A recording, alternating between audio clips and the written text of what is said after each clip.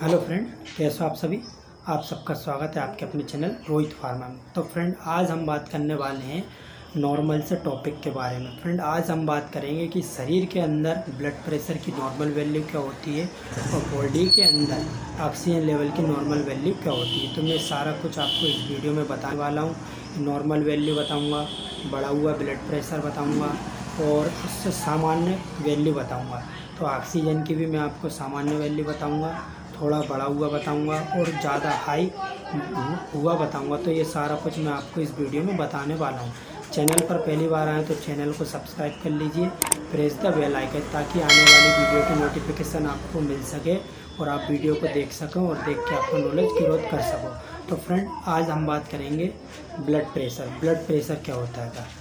Blood जिन कोशिकाओं में बहता है। और उन कोशिकाओं पर प्रेशर डालता है। जैसे कि बॉडी के अंदर ब्लड जिन नलिकाओं में बहता है, उन नलिकाओं में वो प्रेशर डालता है तो उस कंडीशन में हम आप उसको कहेंगे ब्लड प्रेशर। तो आज हम बात करने वाले हैं ब्लड प्रेशर की नॉर्मल वैल्यू। ब्लड प्रेशर दो प्रकार का होता है, सिस्टोलिक और डायसिस्टोलिक सिस्टोलिक बोलेंगे तो ऊपर का होता है और डायसिस्टोलिक नीचे का होता है। तो अब हम बात करेंगे ब्लड प्रेशर की सामान्य वैल्यू क्या होती है। यदि ब्लड प्रेशर बॉडी के अंदर 120 बटे 80 आता है तो उस कंडीशन में हम बॉडी के अंदर उस ब्लड प्रेशर को नॉर्मल वैल्यू कहेंगे।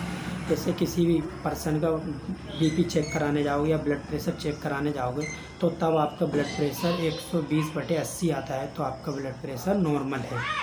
और वो ब्लड प्रेशर चेक करो और इसके साथ ही साथ अब थोड़ा सा बड़े हुए की बात करेंगे, जैसे किसी व्यक्ति का ब्लड प्रेशर 130 बटे पचासी आता है या 130 बटे नब्बे आता है तो उस कंडीशन में हम ब्लड प्रेशर को नॉर्मल कहेंगे, थोड़ा सा कंट्रोल कहेंगे, थोड़ा सा बड़ा हुआ। और साथ ही साथ यदि कोई व्यक्ति ब्लड प्रेशर चेक कराने जाता है, उसका ब्लड प्रेशर 140 बटे नब्बे आता है तो कंडीशन में हम ब्लड प्रेशर को थोड़ा सा बड़ा हुआ कहेंगे। यदि कोई भी पर्सन बीपी चेक कराने या ब्लड प्रेशर चेक कराने जाता है तो उसका ब्लड प्रेशर 140 बटे नब्बे आता है तो ऊपर का 140 चालीस नीचे का नब्बे आता है तो उस कंडीशन में हम ब्लड प्रेशर को बढ़ा हुआ कहेंगे थोड़ा सा और साथ ही साथ जैसे कोई व्यक्ति ब्लड प्रेशर फिर से चेक कराता है तो उसका ब्लड प्रेशर 150 बटे पंचानवे आता है तो उस कंडीशन में हम ब्लड प्रेशर को बहुत ज़्यादा बढ़ा हुआ कहेंगे।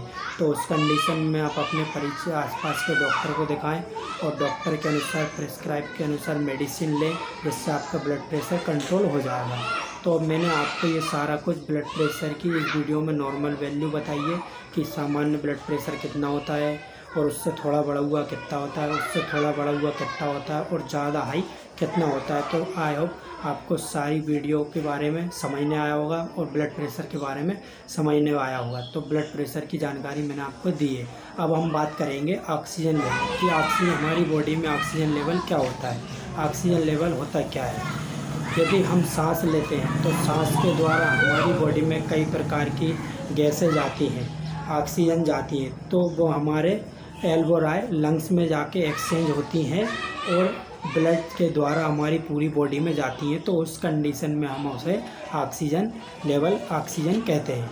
यदि अब हम बात करेंगे बॉडी के अंदर ऑक्सीजन लेवल की, सामान्य वैल्यू कितनी होती है, उससे ज़्यादा कितनी होती है, उससे कम कितनी होती है, सारी इन्फॉर्मेशन आपको वीडियो में देने वाला हूँ। वीडियो में अंत तक बने रहिए।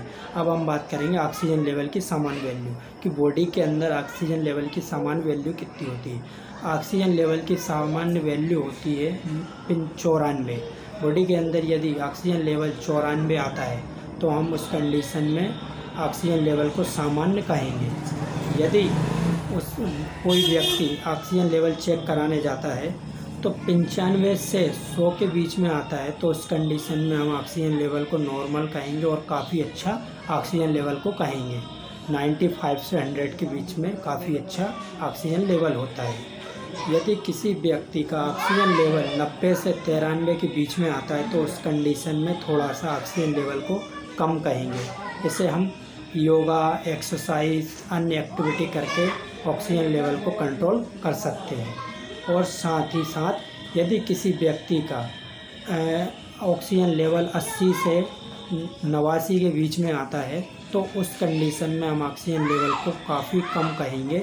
उस कंडीशन में हमें डॉक्टर को दिखाने चाहिए।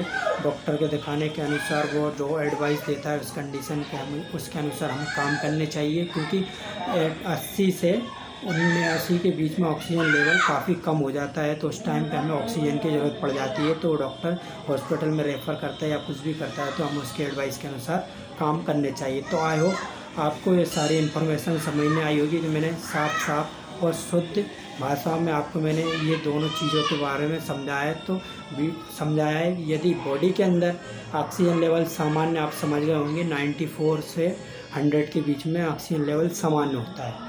और ब्लड प्रेशर सामान्य वैल्यू होती है 120 बटे अस्सी। तो आपको आयो, सारी इन्फॉर्मेशन समझने आई हुई चैनल पर पहली बार आए तो चैनल को सब्सक्राइब कर लीजिए। प्रेस द बेल आइकन ताकि आने वाली वीडियो की नोटिफिकेशन आपको मिल सके और आप वीडियो को देख सको। फ्रेंड फटाफट जाकर चैनल को सब्सक्राइब कर लीजिए। जय हिंद, जय भारत बंदे मातरम।